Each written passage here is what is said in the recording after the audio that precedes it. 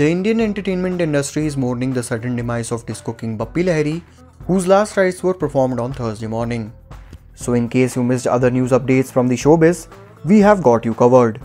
Keep watching.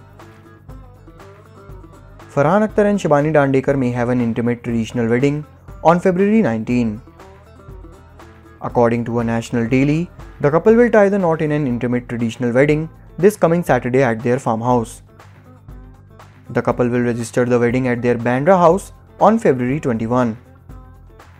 A reception of sorts is to be held for friends and colleagues in the evening.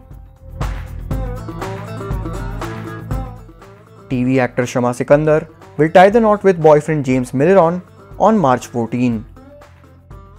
In an interview with the news portal, Shama revealed that they will have a white wedding in Goa on the 14th of next month. Malayalam actor Pradeep KR, known more popularly as Kottayam Pradeep, passed away on Thursday after suffering a heart attack. He was 61. Prithviraj Sukumaran confirmed the actor's death and paid his tribute.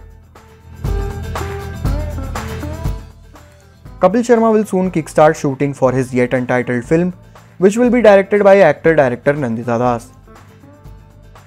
The film will have Kapil in the role of a food delivery guy and Shahana Goswami in the role of his wife. That's all for today. Stay tuned for more and don't forget to subscribe to Showsha for more such videos.